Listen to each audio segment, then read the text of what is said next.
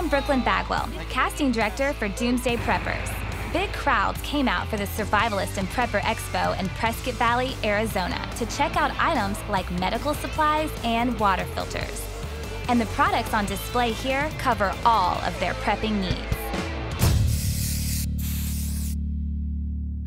Here with Fred Lito with Biffy Bag, and he is going to show me about his pocket-sized disposable toilet. Everything you need for a nice, comfortable relief experience comes in this little package.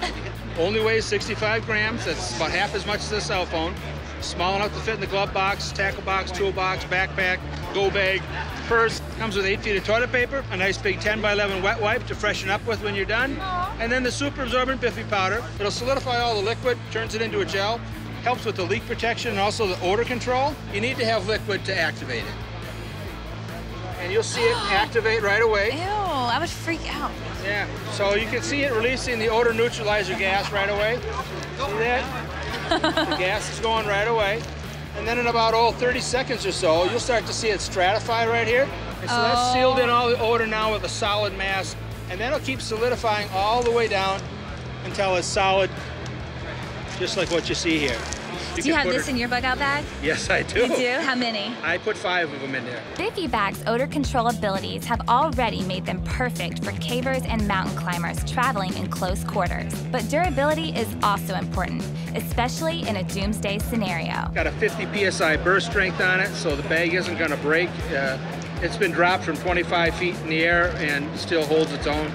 I kind of want to try this thing on. Okay. So you open it, like, up. am I doing it right? Yep, you're doing it just fine. Leave it attached. It matches It's my attached. Yes, that's beautiful. Okay, I'm sold. You just take the right. uh, straps and tie it around your waist.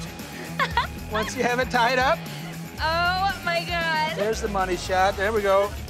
No one will ever know. Yeah, and then bend your legs slightly and uh, let gravity take care of the rest. When you're done, I always recommend tying in a knot, and then that'll uh, keep the three layers of leak protection in place. Stuff it back in the bag. I like your little saying. I like this. Okay. The no bucket, no odor, no mess. All right. No bucket, bucket, no odor, no mess. The Arizona Survivalist and Prepper Expo had everything an aspiring or experienced prepper could want. But this state isn't the only prepper hotspot, and next time I'm headed to the Self Reliance Expo in the mountains of Colorado.